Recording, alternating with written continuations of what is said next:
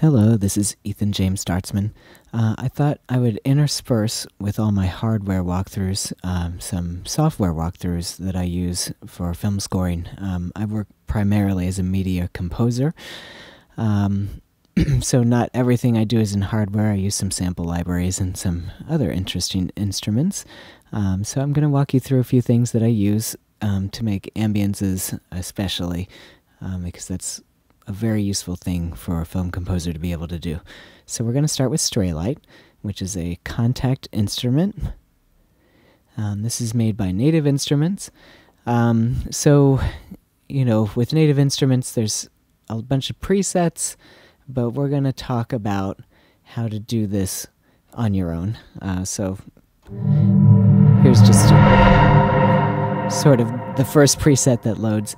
Um, so Straylight is a grain sampler, um, uh, or grain synthesizer, however you look at it. Um, basically, what it does is it breaks down audio into um, grains, or little like grains of sand, where it's breaking up these little samples, and then sort of you can overlap them, you can reverse them, you can do all this stuff. Um, so this is maybe a first of a few videos to talk through everything you can do with this. Uh, so what I'm going to do is go to utilities and I'm going to load up an initialize patch. So there's basically nothing here. There's like a sort of a generic sound there. Um, so what I'm going to do is I have some assets here that I've made. Uh, so these are actual recordings. Um, so I'm not a violin player, but I do have a violin that I can sound extremely terrible at. Um, so what I've done is, you know, I've made a tremolo on an open A. I am actually a bass player, uh, so I do have some bow skills. Um, and the first thing you'll notice is that this there is a little bit of a display glitch going on here. I've tried to solve it, but it just seems to be what it is. Um, so I have this sound.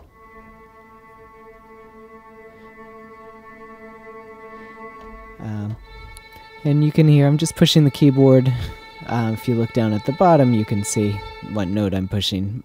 Um, really doesn't matter um, because we're using this more for ambience right now than actual notes. So, what does the grain sampler do? Um, what we do is here's we have a the grain section over here, and we can say, how big of a grain do I want? And what you'll notice is that this gets a lot more choppy sounding the bigger the grains. Okay, uh, also you're hearing some panning because we've got panning jitter over here. I can set this more in the middle. And what's happening is it's sort of just working its way through this recording I made. Okay, so from there, there's some basic stuff that you can do to start to just make it work better. Um, number one is the envelope, the attack, and the release over here on the right. So we get a nice fade in.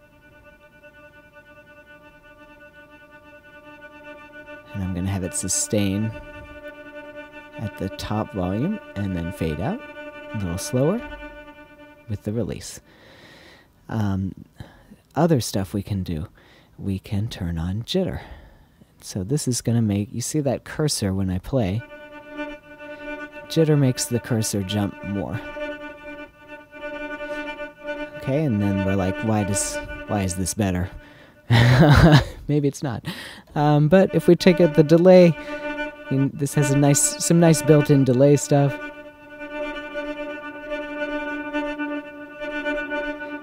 Okay, we can also turn down the interval a little bit. We can turn up fade in and fade out to make these have some texture. Okay, we can also play with starting position here. So this is sort of where your sample is going to come in. We can play with how much of the recording you want to use.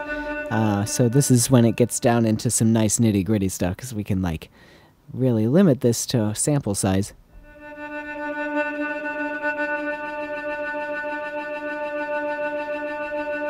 and get find some nice rhythms in here. There's a lot of stuff that can happen with this. Um, we'll try a few different samples. And you notice I have bouncing edges turned on, so when it gets to the end of the recording, it bounces back. If we turn that off, it's sort of like playing straight through. Um, so the cursor is only going from beginning to end, beginning to end, beginning to end. If we have bouncing edges, it's sort of cycling back and forth. Okay?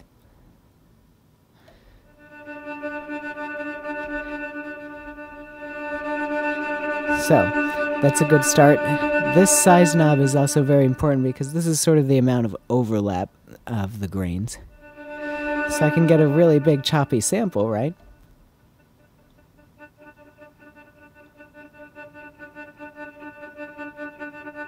And the, we're making the grains bigger here, we're making the gap between the grains bigger there. So bigger and bigger grains, bigger and bigger gaps. Okay, and if we add some reverb to this and we layer this up,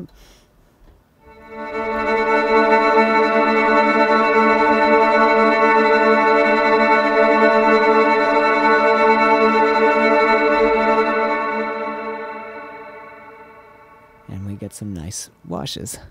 Okay, so that's a good uh, overview. Um, let me so show you one more example. Um, so I have this creepy melody that I worked on for a film. Let's see if we can get.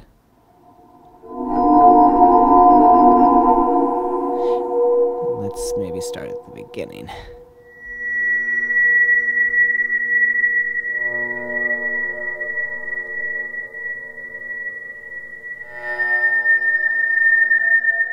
Okay, so already some interesting stuff is happening. We can turn up the panning jitter, we can have it jump around, and we'll get some interesting results from this. So interval here is gap between grains.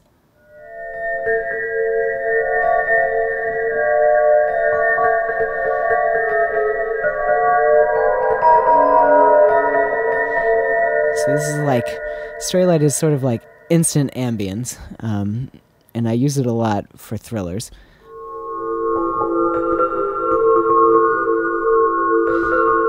And we haven't even really gotten into this other stuff, the tuning and the effects, and there's like some stuff over here we can have sort of a performance effect happening too um, that we can automate. Um, so I hope this gives you some ideas, and there'll be another video coming. Thanks.